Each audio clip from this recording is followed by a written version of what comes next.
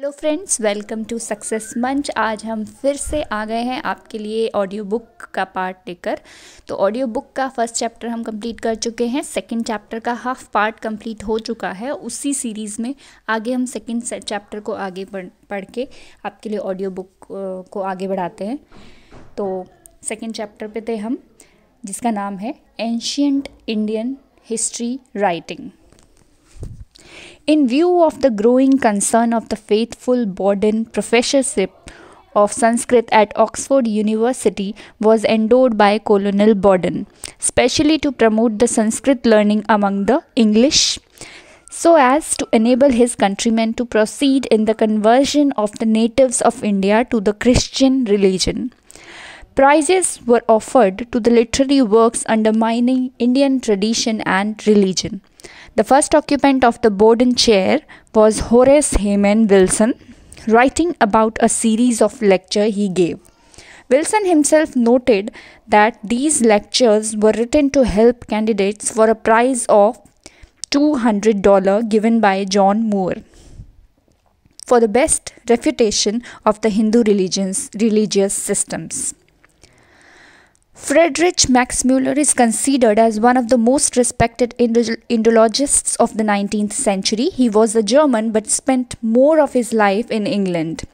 On the request and financial support of the British East India Company, he undertook massive jobs of translation and interpretation of the Indian religious texts in English. Though he achieved an unparalleled feat of getting translated a huge mass of Sanskrit texts into English, thereby bringing it to the knowledge of the English speaking world, his approach and intention were never free from prejudice. They were necessitated by his religious belief and political requirements. Both these colored the entire approach for the writing and interpretation of Indian history. In 1857, Max Muller wrote to the Duke of Argyll I look upon the creation given in the Genesis as simply historical. Therefore, in terms of time span, all he had was 6000 years, that is up to 4000 BC, within which entire history of universe had to be fitted. It was under this guiding principle William Jones, Max Muller, Vincent Smith and others wrote Indian history.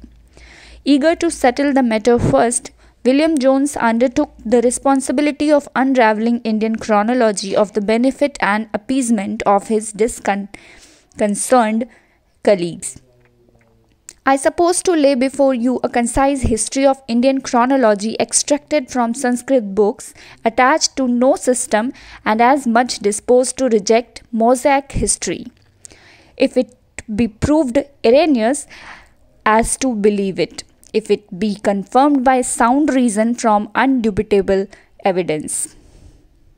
Despite such assurance, John's own predisposition of this matter was revealed in several earlier writings. For example, in 1788 he wrote, I am obliged, of course, to believe the sanctity of venerable books of Genesis in 1790, Jones concluded his researches by claiming to have traced the foundation of the Indian Empire above 3800 years from now. That is to say, safely within the confines of British Bishop Ussher's creation date of 4004 BC, and more important, within the parameter of the Great Flood, which Jones considered to have occurred in 2350 BC. Same was the constraints with Max Muller when the question of chronology of Sanskrit literature came up. Lacking any firm basis of his own and rejecting every Indian evidence, he arbitrarily dated the entire Sanskrit literature, taking the earliest, that is Rigveda, to be of 1500 BC once again within the safe limits of Genesis chronology. Such efforts of the parts of European scholars, chiefly British, brought some relief and made this new approach safe for Christianity and its faithful followers. Assessing the impact of such works, mainly of Jones' Trautmann Wright, 1997, Jones, in effect, showed that Sanskrit literature was not an enemy but an ally of the Bible, supplying independent corroboration of Bible's version of history. Jones' chronological researches did manage to calm the waters somewhat and effectively guaranteed that new admira- admiration of Hindu for Hinduism would reinforce Christianity and would not work for its overthrow. Thus, the faith of Indian history now got intervened with the safety and pleasure of Christianity. The culmination of the objectives and the results of the efforts of good European scholars of Indology is seen in private correspondence. Max Muller writes to his wife of his monumental work of editing 50 volumes of sacred books of the East this edition of mine and the translation of Veda will hereinafter tell a great extent on the fate of India and on the growth of millions of souls in that country. It is the root of their religion and to show them what the root is. Feel sure is the only way of uprooting all that has sprung from it during the last 3000 years. Two years after this, Max Muller wrote in 1868 to the Duke of Argyll, then Secretary of State for India, the ancient religion of India is doomed, and if Christianity does not step in, whose fault will it be? Max Muller was not alone in this type of writing history and desiring to uproot all Indian tradition from the soil.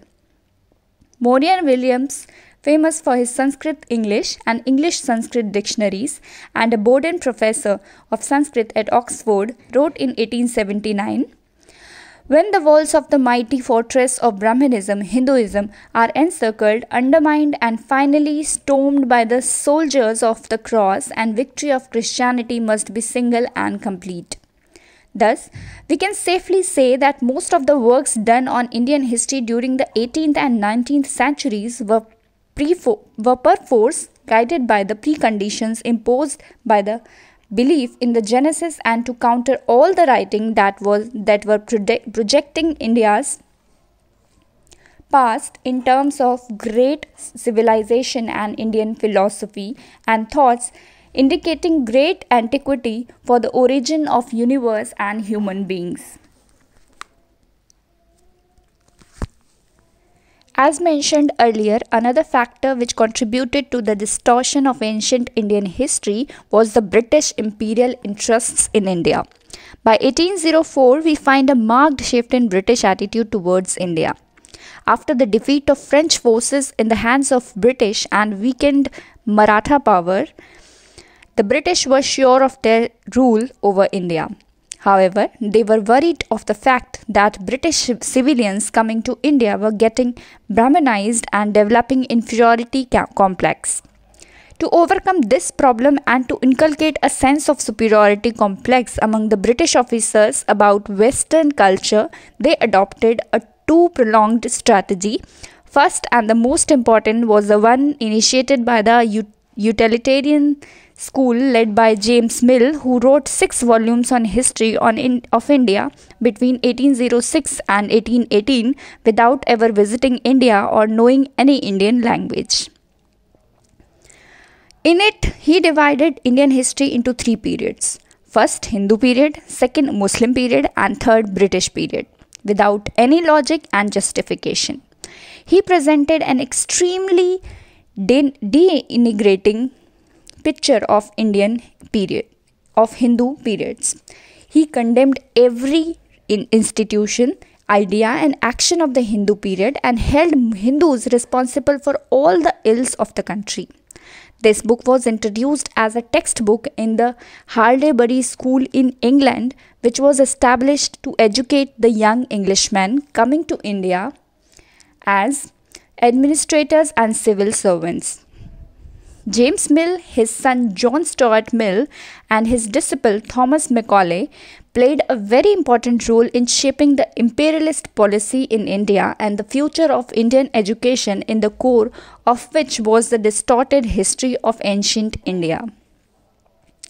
Following in the footsteps of James Mill, V.A. Smith an ICS officer serving the British government in India, prepared the textbook called Early History of India in 1904.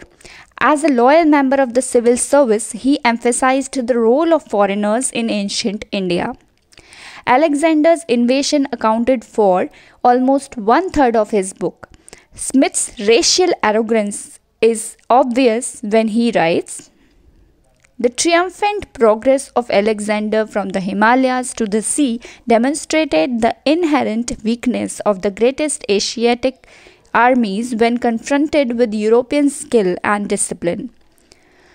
V.A. Smith gives the impression as if Alexander had conquered whole of India from Himalayas to seas while the fact is he only touched the northwestern border of India and as he as we shall see in relevant chapter it was a virtual non-event Smith presented India as a land of despotism which did not experience political unity until the establishment of British rule. He observed Autocracy is substantially the only form of government with which the historians of India are concerned. The whole approach of imperial uh, historians has been best summed up by historian R.S. Sharma. He observes British interpretation of Indian history served to denigrate Indian character and achievements and justify the colonial rule. However, the generalizations made by historians were either false or grossly exaggerated. They could serve as good propaganda material for the perpetuation of, for, of the despotic British rule.